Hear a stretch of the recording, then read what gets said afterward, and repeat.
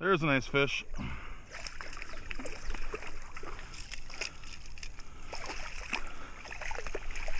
Whew.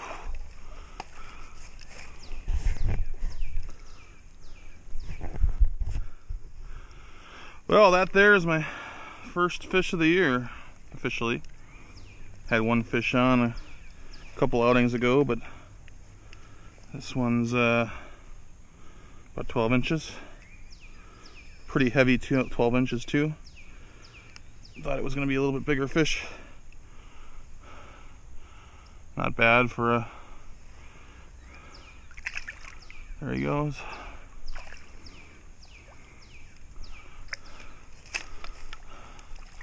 Had one nibble just a minute ago.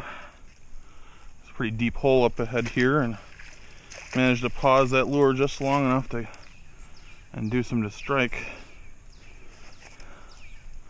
It's a challenge this time of year. Sometimes you gotta, even with spinners, you gotta go a little slow. see if there's anything more in this hole. And here I'm just letting it drift a bit before I start retrieving. And that sucker hit so hard I thought he was a, I thought I'd snagged a rock. I'm actually using a the rainbow trout mini pattern, which I've historically not had a lot of success with, but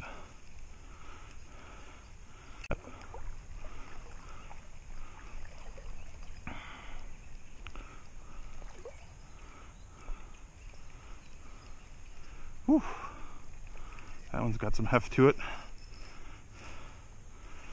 Whew.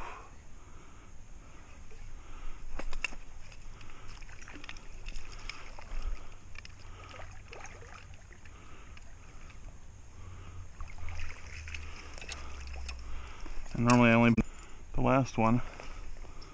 Get that one going back again.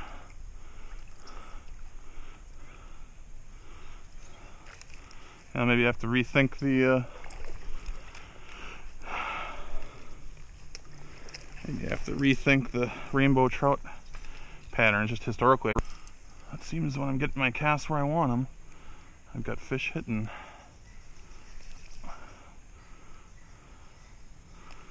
Especially when I am letting it drop and come back up again. That one was really on the inside of this cut.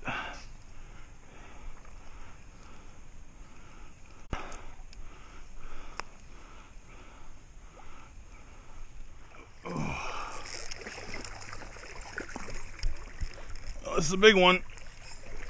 Oh!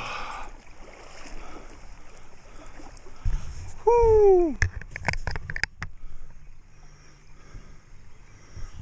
well, it looks like I missed the recording on the this GoPro's been acting up a little bit. I think it needs a firmware upgrade, but holy smokes.